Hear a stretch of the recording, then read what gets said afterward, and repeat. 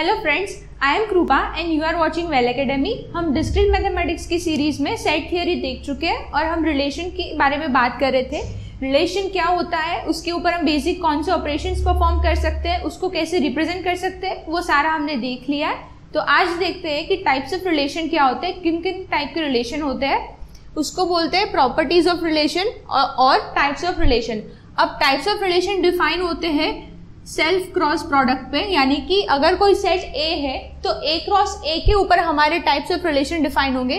Briefly देख लेते हमारे पास reflexive irreflexive symmetric antisymmetric asymmetric and transitive इतने टाइप्स ऑफ़ रिलेशन है।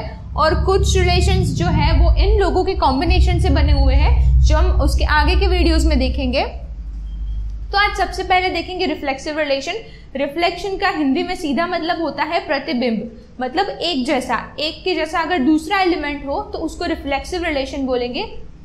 तो देखते हैं डेफिनेशन क्या कहती है. Relation R over A cross A is reflexive अगर ए कोमा ए वो सारे रिफ्लेक्सिव पेयर्स मतलब एक दूसरे से ये एक दूसरे की मिरर इमेज है तो इसको रिफ्लेक्सिव पेयर बोलेंगे।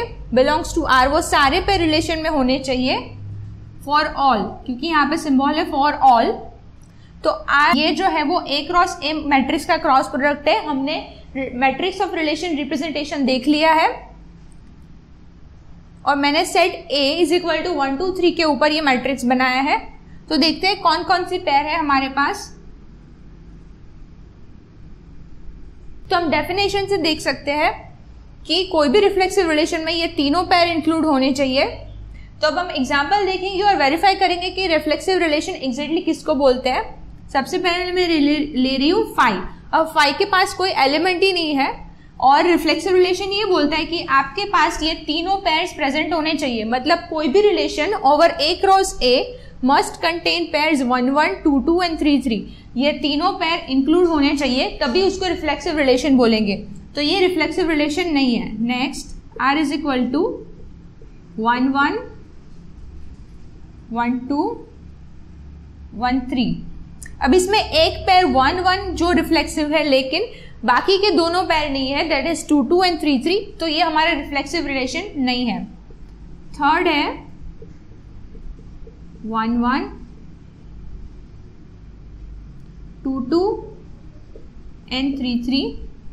तो ये एग्जैक्टली डायगोनल एलिमेंट्स है तो इसको हम रिफ्लेक्सिव रिलेशन बोलेंगे, और इस स्पेसिफिक रिलेशन को हम डायगोनल रिलेशन भी बोलते हैं that is diagonal over A is equal to ये सारे डायगोनल एलिमेंट्स आगे देखते हैं R is equal to one one two one two two three one and three three.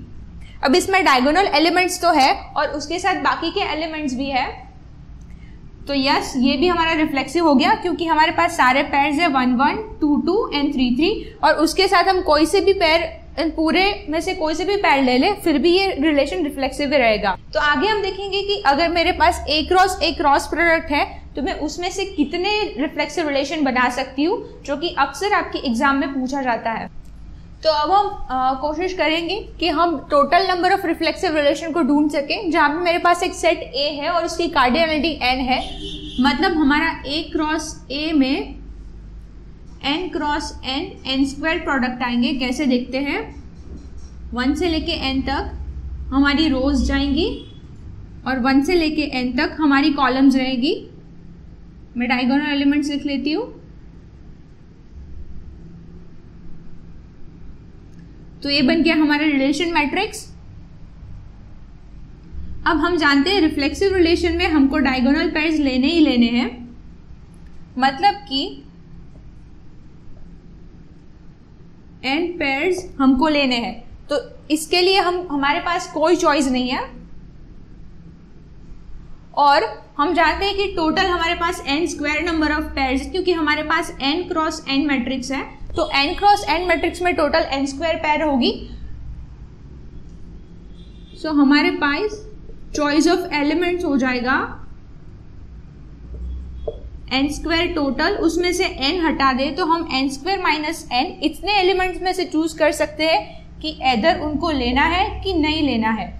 हम आगे देख चुके हैं कि अगर हमारे पास दो चॉइस है किसी पैर के बारे में, कि अगर हमें कोई पैर लेनी है कि नहीं लेनी तो उन चॉइसेस को हम two raise to n square minus n से रिप्रेजेंट करेंगे और ये हमारा हो जाएगा